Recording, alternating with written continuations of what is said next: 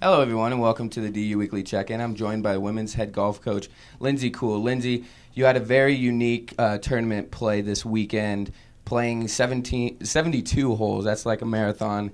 Um, going with that stroke play and then four rounds of match play. Um, how did you view this whole tournament and um, the grand scope of things? I think this is one of the best tournaments we play in all year.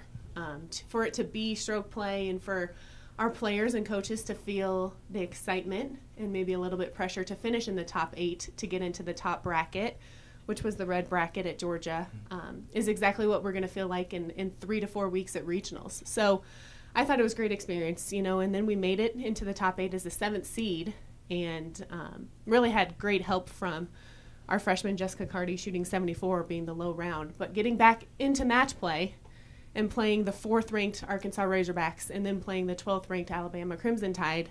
And then finally, Northwestern Wildcats, they're ranked 22nd. We played three top 25 teams mm-hmm. in the last two days on Saturday and Sunday. And I think it was just great experience on a very difficult golf course to play those top teams and kind of see how we measure. I think we learned a lot about our games and also, um, I think, got some great confidence coming in to the conference tournament that we have in two weeks. Mm-hmm. And a lot of those match play events um, were with top top ranked teams and top ranked players.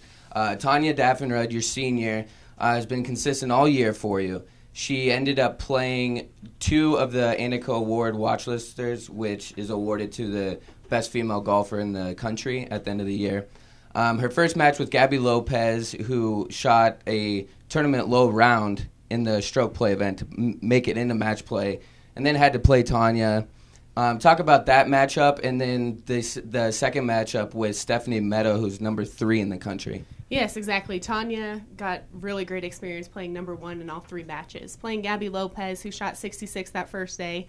She's a tough competitor, and, and Tonje tried her hardest, um, but fell a little short. But against Stephanie Meadows, uh, Tonje was just on. She putted really well, birdied the first two holes, made two 10 footers, and just had the momentum all day. But I think that's a huge confidence boost for Tonje to to play against Stephanie Meadow, who has been Player of the Year for Alabama, um, not only for Alabama but for the national in the NCAA for women's golf in the last couple years. So she's one of the best, and she'll have a great future. But just for Tonje to play against her and play so well and, and win, I think Tonje came a lot came away with a lot of confidence this weekend.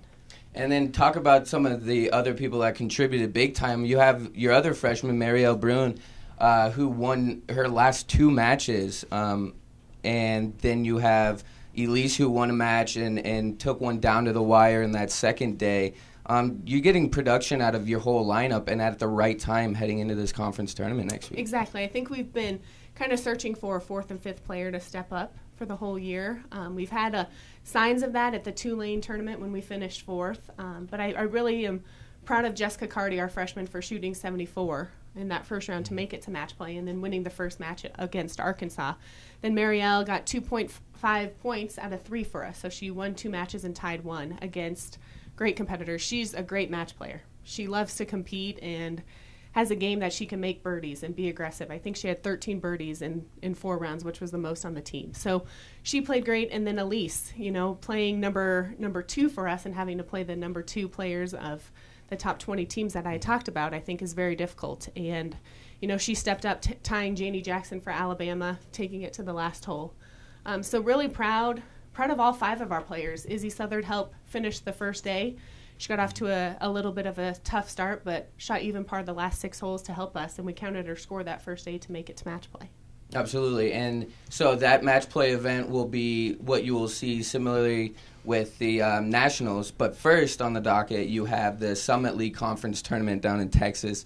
Um, that's just about, I think, a little over two weeks away. Mm-hmm. Um, how will you p- use this time to prepare for that, and what can we expect on that golf course? Yeah, we we know a little bit about the golf course. Um, it's I think rewards good ball strikers and putters, just like many other golf courses. But I think we're going to really focus on our wedges, our short wedges, um, anything inside 70 yards to 120 yards for their approach shots, and a lot of putting. I think we can always can, can continue to improve our short game and our ball striking. So we're going to work hard here in the next 12 days, and, and in exactly two weeks will be our first round.